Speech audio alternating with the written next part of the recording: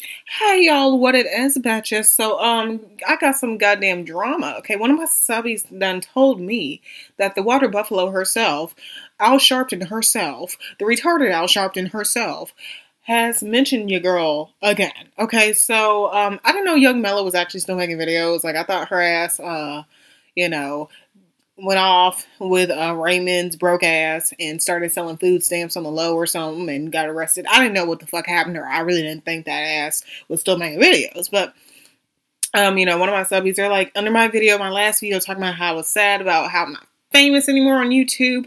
One of my subbies said, look, Olivia, well, Young Melo was talking about your ass.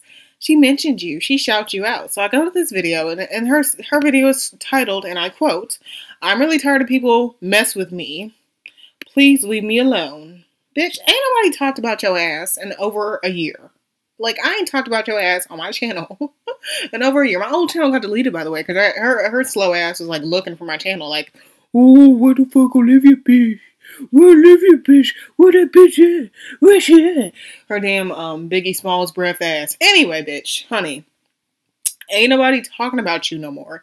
This is probably the last rant video I'm going to make about you, honey, because I'm not trying to make my video about ranting on hoes no more. I'm trying to be more, more mature about my shit, honey, but you going to come for me? You send for me, I come for you, bitch, okay? Don't send for me unless you want, want some of this wrath, bitch, okay? You know, I know you slow and I know you get that disabled check, honey, but goddamn, you know goddamn well your ass ain't popping in the streets like that for me to be talking about you every goddamn video. Like I used to looking for me trying to like say, oh this bitch, she always she always bothering me. Bitch, I ain't flagged none of your videos. I've never flagged a Melo video. You know what's funny? I know she's slow. And I know she's special. I know she just likes to be retarded on camera. I know she she gets a, a laugh out of this and she makes her feel kind of better inside. So I don't flag her videos. For for you to, to act like I'm flagging your videos, honey, you a goddamn lie, honey. I don't care. I don't like I don't like player haters, okay? You be retarded in your own lane, honey. I don't mind. You be as stupid as you want to be, okay? But I do mind though.